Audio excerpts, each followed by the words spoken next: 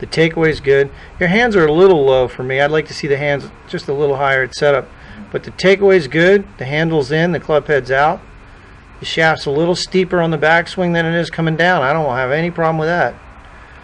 Nick Price made a living doing that. The hands are higher. The club is way more in front of you. Not as deep. You know what I'm saying? Yeah, yeah. It's not as behind. It's not as behind me like it used to be. Right. This club is really good coming in. Yeah, that's good. Your hands, you know, you got a little bit of thrust, a little bit of forward thrust, but we'll be working on that. The pelvis comes a little forward here, just fractionally. That's good. And your corner, that's much better. Your your hands are working under the, you know, parallel to the shaft plane there.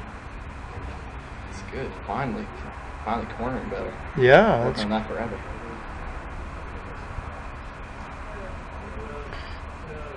The right heel is down. I like that. It lets your arms get back in front of your body. I'll show you Jordan Spieth. You're talking about the trail foot. Trail foot, right. The left heel's down. I should have said trail foot. You're absolutely right. Thanks for correcting me. I needed to uh, say trail leg. All right, so the reason Spieth is such a good short iron player is he keeps the handle in, clip it out on takeaway, keeps the club in front of him here. The right, uh, the trail leg, the trail heel is on the ground at impact.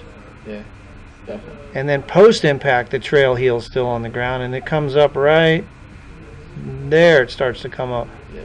But you know, your club now, the handle is in the right place on the takeaway. Your hands are too low. That's why the shaft's a little vertical, but I don't have a problem with that. Top of the swing, the hands are higher and more in front of you, just like where he is. And then the club's planing out nicely. You're here, the sh- his shaft's coming right through his elbow. When the left arm's, when the uh, the, the front arm is parallel to the ground, the shaft bisects the trail bicep. So that's nice. Your club's right in position there. Nice.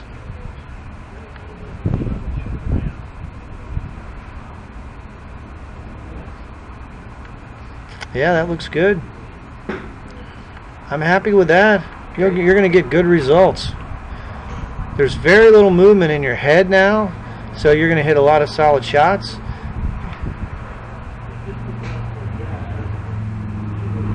Yeah, that looks great. That's awesome. That looks great.